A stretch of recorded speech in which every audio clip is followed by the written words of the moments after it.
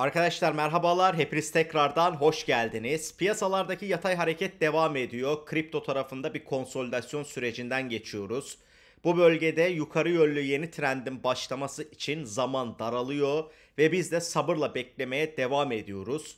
Teknik açıdan şu an 43.100 dolarlı seviyelerde seyrediyoruz ve bu bölgede zaten güncellenecek çok bir şey de yok. 40.000 dolar ila 45.600 dolar arasında geniş bir banttayız ve yeni bir trendin başlaması için beklediğimiz kırılım 45.600 seviyesinin kırılımı olacak. Bu bölge yukarı yönlü kırıldığında Bitcoin'de yukarı yönlü yeni bir trendin başladığını savunabileceğiz. Teknik açıdan çok büyük güncellemeler yok aynı alanda seyrettiğimiz için ama işin temel tarafında önemli haberler var. Bildiğiniz üzere ABD'nin dış borcu son dönemde 34 trilyon doları aştı dostlar ve bu borcun ödenmesi için dönüp dolaşıp bu adamların para basmaya gideceğini hepimiz zaten tahmin ediyoruz. Fakat en önemli detaylardan birisi bu borcun yaklaşık 9 trilyonun vadesi 2024 yılında doluyor. Burada gördüğünüz üzere bu lacivert çizgi bu grafik üzerinde önümüzdeki 12 ayda vadesi bitecek olan borcun oranını gösteriyor ve çok ciddi bir oranla karşı karşıya kalan ABD var. Yaklaşık %33'ü yani borçlarının üçte birinin vadesi bitiyor. Zaten faizin yüksek olması onların sırtına bir yük. Fed tarafı artık açık açık faiz indirimlerini dillendirmeye başladı. Piyasalar ilk etapta çok pozitif bakıyordu olaylara. Hemen böyle Mart ayında faiz indirimi başlar diye bakıyordu ama son gelişmelerin ışığında Powell'ın konuşmasının akabinde önümüzdeki süreçte Mayıs ayına doğru bu faiz indirimlerinin gündeme geleceğini artık herkes kabullenmiş durumda diyebiliriz. Yani Mart ayında böyle bir beklentiye girmenin anlamı yok. Ama makro açıdan en önemli grafiklerden birisi bu dostlar. Önümüzdeki bu orta vadeli periyotta ABD'nin tekrardan gevşek para politikasına geçeceğini şimdiden bize teyit eden en önemli verilerden birisi. Bunları zaman zaman güncelleyerek paylaşmaya çalışıyorum.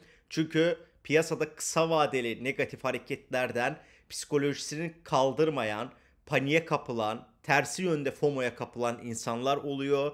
İşte bizi yine yıpratıyorlar. Bu senede bir şey olmayacak diye düşünenler oluyor. Ama bizim burada plana sadık kalmamız gerekiyor. Yukarı yönlü piyasalarda hareketleri bekleyeceğiz. Çünkü bunun altındaki temel nedenlerde değişen bir şey yok. Aynı noktadayız. Bu yılın pozitif bir yıl olarak e, finansal piyasalara etki etmesini bekliyoruz.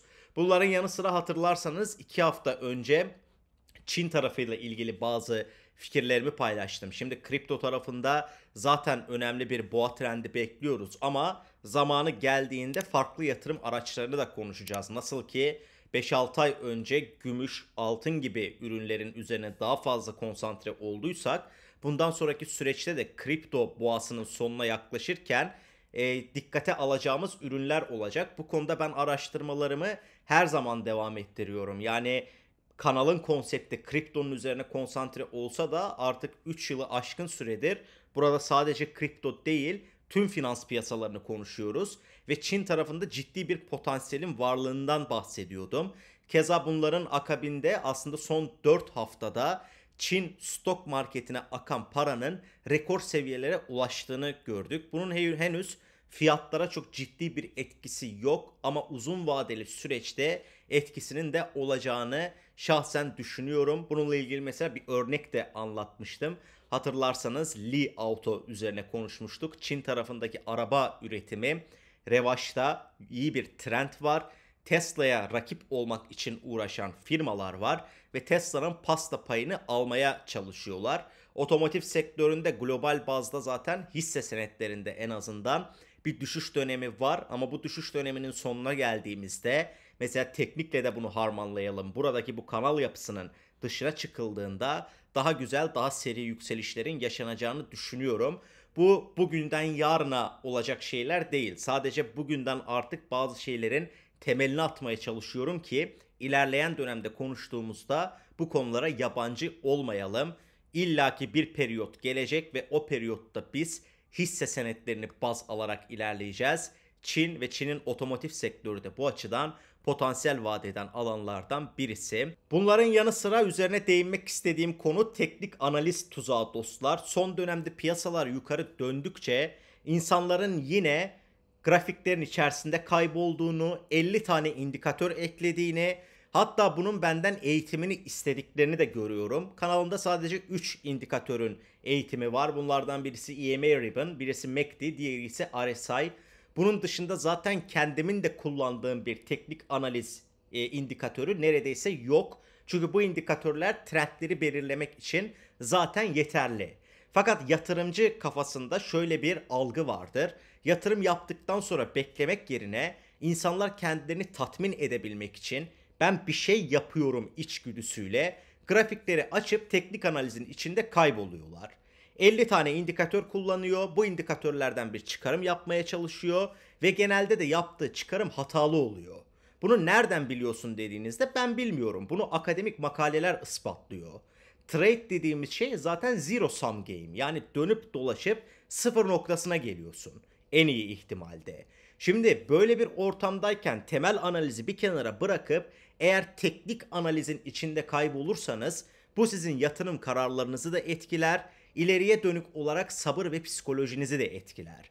O yüzden sizden rica ediyorum. Ortaya çıkan yeni yayıncılar da olacak. Sektör büyüyor sonuçta. Sabahtan akşama teknik analiz üzerine canlı yayın yapan insanlar da olacak.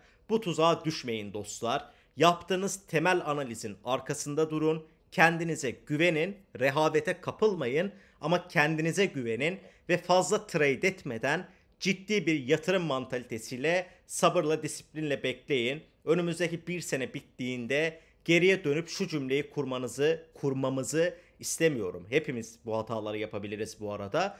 Bu cümleyi kurmayalım. Ya bunu alıp bekleseydik daha fazla kazanıyormuşuz. Çünkü trade yapan, durmadan trade yapan insanlar böyle der. En sonunda ya zararla giderler ya minimum karla giderler. O yüzden sabırlı bir şekilde beklemeye devam edelim dostlar. Şimdi altcoin tarafında Manta'da mesela ciddi bir düşüş yaşandı aslında. Bir düzeltme yaşandı. Ben de bu kadar sert bir düzeltme olacağını açıkçası beklemiyordum. En azından 3.09'lu seviyelerden bir tepki alır diye tahmin ediyordum. Fakat burada düşüşün biraz daha derinleştiğini görüyoruz. Şimdi bir toparlama isteği içerisinde Manta'nın bulunduğu alanda oluşturmuş olduğu bir minör düşüş trendi ve kama yapısı da var. Eğer bu bölgelerin üzerinde bu direnç alanları kademeli olarak geçmeyi başarırsa bu kamanın hedefi zaten eski zirve alanı olacaktır. Mantayla ilgili benim 2.25 ortalamayla yaptığım bir değerlendirme var. Ve 3.80'leri gördüğünde dahi ben bu ürünü elimden çıkarmayacağım dedim. Nedenlerini detaylı şekilde videoda anlattım. Bugün verilerini, metriklerini kontrol ettiğimde hala aynı noktadayız dostlar. Manta şu anda tüm ağlar arasında en yüksek kitli para olarak 10. sırada yer alıyor ve mevcut piyasa değeri bu performans karşısında bana göre düşüktür. O yüzden ben bu üründe ısrarcı olmaya, tutmaya devam edeceğim. Ha şöyle bir planım, niyetim var. Belli bir noktaya geldiğimde ana parayı mesela dışarı çıkarırım. Kar orada yatırım olarak kalır. O ana parayla ya portföydeki diğer ürünlere eklemeler yaparım ya da yeni bir ürün eklerim ama henüz öyle bir yükseliş gelmedi ve ben de o yükselişin geleceğini düşünerek pozisyonlarımı korumaya devam ediyorum. Burada mesela be, benim beğenmediğim tek metrik 24 saatlik hacim diğer ağlara kıyasla Manta Pasifik ağının hacminin düşük olduğunu görüyoruz. Ama Cardano'da da böyle bir durum var. Kronos'ta da böyle bir durum var. Yani Kava'da da var. Genel olarak bazı ağların kullanımı daha düşük olabiliyor. Ben Manta ağını kendim de kullandım. Teknolojisinin de gayet iyi olduğu kanaatindeyim. Düşük ücretlerle Ethereum üzerinden ciddi bir e, çözüm ürettiğini söyleyebilirim. Boğa trendinde protokol sayısı arttıkça Manta'ya da talebin artacağını düşünüyorum. Ve bunun yanı sıra şimdi yatırımcıların çoğu parayı kitleyerek airdrop bekliyor.